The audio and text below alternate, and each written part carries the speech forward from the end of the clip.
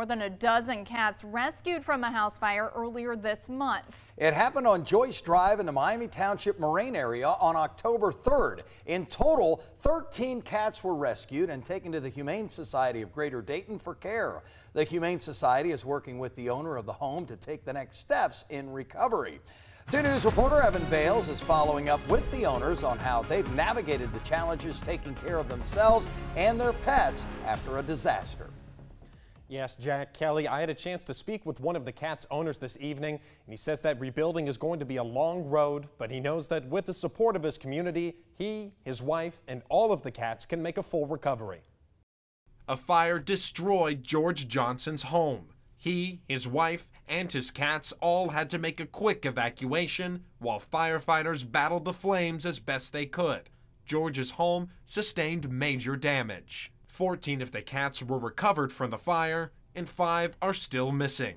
Getting someplace for the cats uh, that we have, it's, it's been a challenge. A social media post from the Humane Society of Greater Dayton showed these pictures of workers interacting with the cats. George's wife has been working diligently to find the cats a new place to stay, and in the meantime, the HSGD is doing their best to help. And despite those challenges, George has been faithfully continuing a ministry he's been performing for years. Outside Moraine City First Church of God, George is still ministering and giving love to others despite the tragedy his family is facing. Being out there, giving the Word of God, giving God's love to these people, and I will not be defeated. I, the, uh, the, the Thursday that this burnt, I didn't make it on the street, but that Friday, I was on the street.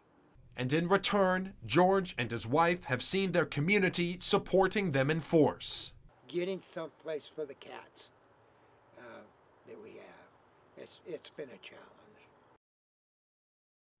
Now, construction crews have told George and his wife that it could take up to nine months for their home to be fully rebuilt. And in the meantime, they say they're on the lookout for a camper as a temporary living situation for them and the cats. Live in the studio, Evan Bales, 2 News.